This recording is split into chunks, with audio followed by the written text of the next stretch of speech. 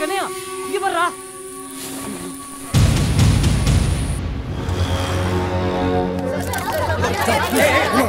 இந்த ரூம் தான் sir magistrate வந்தாச்சு. டைங் டிக்ளரேஷன் இமீடியட்டாக ரெக்கார்ட் பண்ணோம். எஸ் ஸோ ஐயா! ஐயா! என் குழந்தைய என்ன பண்ணிருக்கான்னு பாருங்கய்யா. Rajendar. Vijay the victim was brutally raped again and again for the past three days blood நிறைய போயிருக்கு. அவளோட இன்டெஸ்டைன்ஸும் டேமேஜ் ஆயிருக்கு. மோஸ்ட்டாக ரேப் பண்ணவங்க போதையில் இருந்திருப்பாங்கன்னு நினைக்கிறேன். சீமெண்ட் ரேசஸ் அழிக்க ஒரு துருப்பிடிச்ச அயன் ராடை ஐயோ ஐயோ ஐயோ ஐயோ. ஐயோ ஐயோ.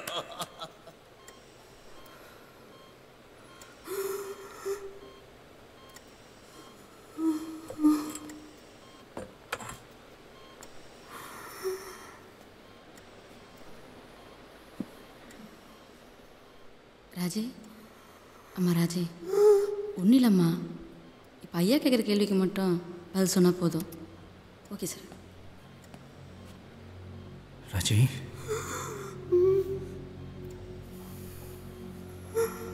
நான் நான் ஏன் இதை கேட்குறேன்னா உனக்கு நடந்த மாதிரி இனிமே வேறு யாருக்கும் நடக்கக்கூடாதுன்றதுக்காகவும் அப்படி பண்ணவங்களுக்கு தண்டனை வாங்கி கொடுக்கணுன்றதுக்காகவும் தான். எனக்கு எனக்கு தெரியும். ஒரு பொண்ணா இது சொல்கிறது எவ்வளோ கஷ்டம்னு எனக்கு தெரியும். என்ன ஒரு அண்ணனா நினைச்சு? சொல்லுமா. நான் பார்த்துக்கிறேன்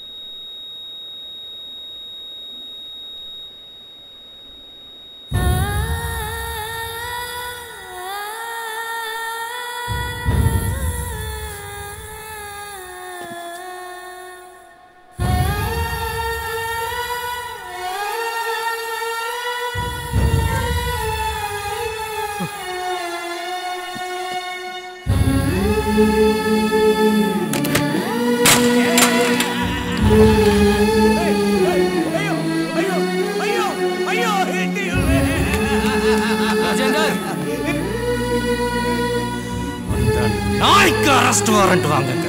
எஸ் சார்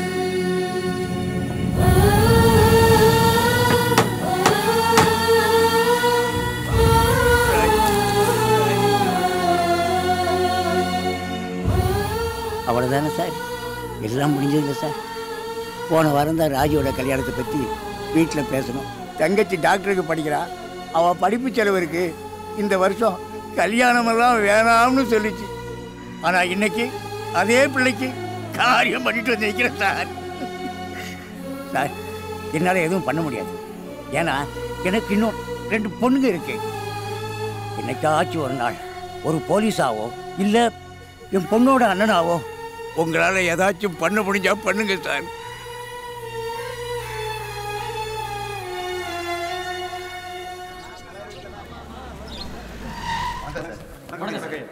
ஒன்றில் பிடிச்சலாம் சார். சார். என்ன விஜய்? அரெஸ்ட் பண்ண வந்திருக்கேன் சார். யாரு? மினிஸ்டரோட son Ashwin. What are you saying IT office Raji rape and murder கேஸில் அஸ்வின் தான் சார் ஏவான் அந்த பொண்ணோட டைங் டிக்ளரேஷனில் அவங்களே சொல்லியிருக்காங்க சார். இல்ல! என் பையன் அப்படி பண்ணிருக்க மாட்டான். யார் வீட்டுக்கு வந்து?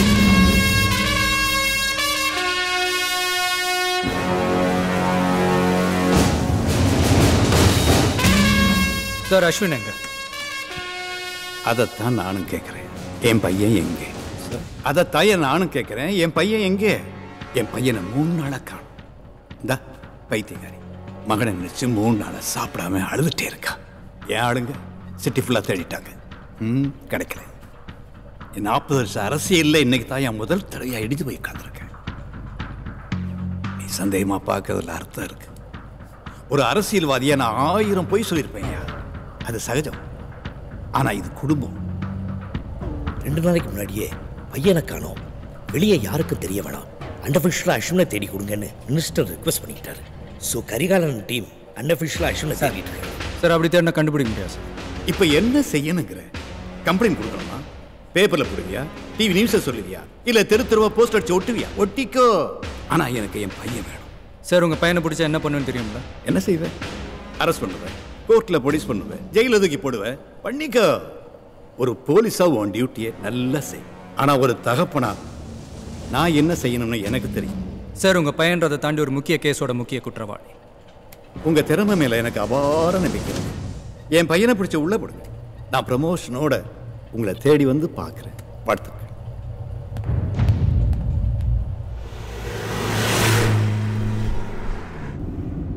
வண்டி நிப்பாட்டு. என்ன ராஜேந்தர் இந்த கேஸ் இப்படி தண்ணி காட்டுது? எங்கேயோ போய் தொலைற விடுங்க சார். இவங்கெல்லாம் பிடிச்சி நம்ம என்ன சார் பண்ண போகிறோம் என்ன இப்படி சொல்கிறீங்க அந்த பொண்ணோட டையிங் டிக்ளரேஷன் வச்சு அவனுக்கு தண்டனை வாங்கி கொடுக்க முடியாது? என்ன சார் புள்ளிவரம் தெரியாமல் பேசுகிறீங்க போன வாரம் நியூஸ் பேப்பரில் வந்த ரிப்போர்ட் சார். போன வருஷம் மட்டும் இந்தியாவில் முப்பத்தி மூணாயிரம் ரேப் கேஸ் பயில இருக்கு சார். ஒரு நாளைக்கு ஆவரேஜா தொண்ணூற்றி மூணு கற்பழிப்பு நடக்குதா சார்? ஒரு மணி நேரத்துக்கு ராஜீவ் மாதிரி நாலு பொண்ணுங்க. ச்சே, நினைச்சாலே நடுங்குது சார். ஸ்டேஷனில் வர கேஸ் எத்தினா மானத்துக்கு பயந்து வெளியே சொல்லாதது. பஞ்சாயத்தில் பைசல் ஆகுறதுன்னு இன்னும் எத்தனை கேஸ் இருக்கும்? யோசிங்க சார். நாலு பேர் மேலே கேஸை போட்டால் ஒருத்த மட்டும் தான் உள்ள போறானா? மத்த மூணு பேரும் ஆட்டிக்கிட்டு போயிடறானுங்க சார். Sorry sir. அப்படி இருக்கு சார் நம்ம நாட்டோட நிலைமை.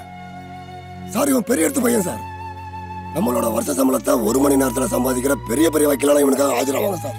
பத்தே நாள்ல வெளியே வந்து நம்மளை பார்த்து பல்ல கட்டிட்டு போயிடுவோம் சார். நமக்கு டிரான்ஸ்ஃபர் வந்துடும் மந்திரிக்கு பந்தோபஸ்து கொடுக்குற வேலை வந்துடும் கிளம்பி போயிடுவோம். இந்த பத்திரிகை டிவியில தான் கேஸ் ரெண்டு நாள் கூட தாங்க சார். அப்ப ஏதாவது ஒரு நடிகைக்கு கல்யாணம் ஆனா ஹாட் நியூஸ் வந்துரும். அவன் பின்னாடியே போயிடுவாங்க. அவன் அந்த பொண்ணோட அப்ப. ஹ, ஒத்த ஆளா. தான் பொண்ணை நினைச்சுக்கிட்டே உசுர விடுவான் சார். அந்த பொறுக்கி நாயும் இன்னும் ஜாக்கிரதையா அடுத்த பொண்ணு மேல கை வைப்பான் சார். சாரி சார் நான் ஏதாவது தப்பா பேசியிருந்தா. இல்லை இல்லை. சொன்னதெல்லாம் உண்மைதான். என்ன பண்ணலாம் சொல்லுங்கள் என்ன ஏன் சார் கேட்குறீங்க நான் ஒரு சாதாரண கான்ஸ்டபிள் உங்களோட டிரைவர் என்னால் என்ன சார் பண்ண முடியும்? சரியா. நீ ஒரு சாதாரண ஆளியா உன் கையில் அவன் மாட்டுறான். என்னையா பண்ணுவேன் சார் அவனையெல்லாம் அடிச்சு மூஞ்சி மோரெல்லாம் உடைச்சு நடு ரோட்ல இல்ல இந்த மாதிரி பிரிட்ஜுக்கெல்லாம் தலைகளை கட்டி தொங்கிடும் சார்.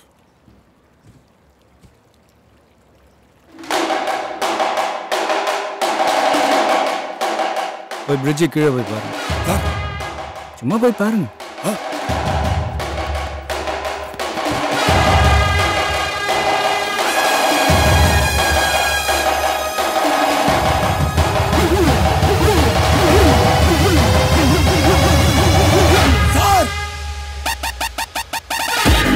ராஜேந்தர் டிஃபன் சொல்லுங்க. எப்படியும் உங்க அப்பனுக்கு போனை போட்டு வர சொல்லுங்க.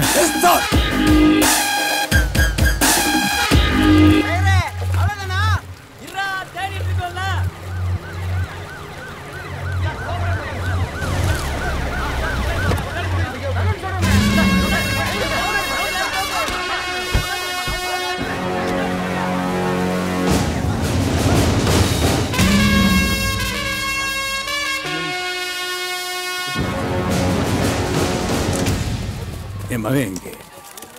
அவங்கள்ட்ட நான் பேசணும். அதுக்கப்புறம் நீ அவனை எங்கே வேணாலும் கொண்டு போ. எந்த ஜெயில வேணாலும் போட்டுக்கோ. பேச முடியுமான்னு தெரில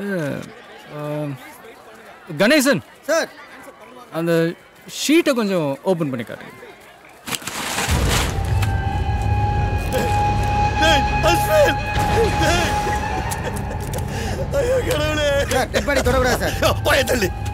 இதில் ஒரு சைன் பண்ணுங்க விஜய். ஏதாவது ப்ரெடிக்ட் பண்ண முடியுதாட்டா?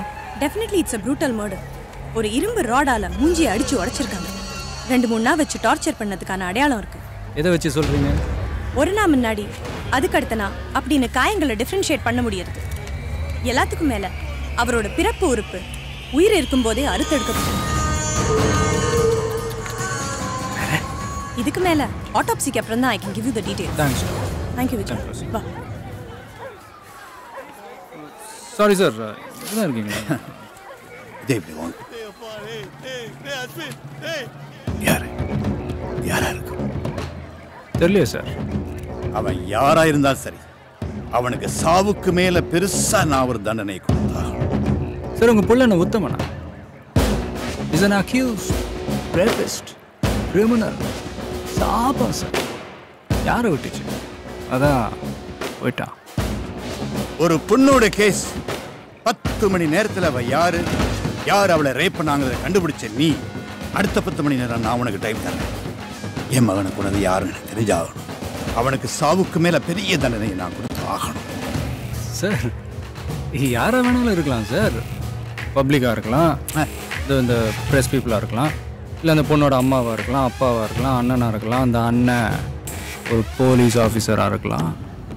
அவர் பேர் ஐபிஎஸ் விஜய் குமாரா கூட இருக்கலாம். உங்களால் ஒரு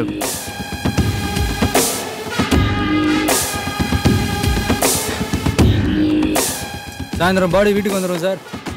உங்கள் சொந்தக்காரங்களுக்கெல்லாம் சொல்லி அனுப்பிச்சிருங்க.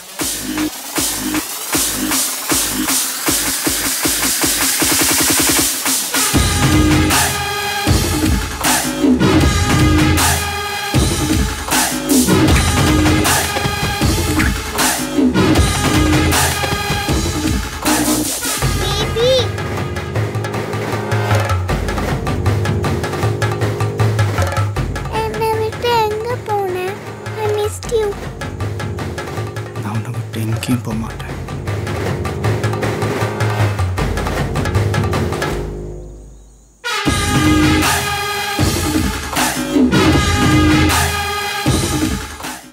கஷ்டப்படுறேன். பேசினாலும் உங்களுக்கு புரியாது. பேசாட்டியும் உங்களுக்கு புரியாது. உங்கள் அப்பா என்ன சொன்னார்? பத்து இலைய பார்க்குறவன் தன்னோட இலையில இருக்கிற சாப்பாட்டை நிம்மதியாக சாப்பிட மாட்டான்னாரு. என் இலையில சாப்பாடே இல்லடி. வரிசையாக பங்குக்கு நிற்கிறாங்க அதை பற்றி நான் யோசிக்கக்கூடாதா? இல்லை இன்னொருத்தி வரானா தயக்கம் இருக்காதா? இல்லை மிஷினா? எல்லாத்தையும் நிமிஷத்தில் மறந்துட்டு அப்படியே ஓடிட.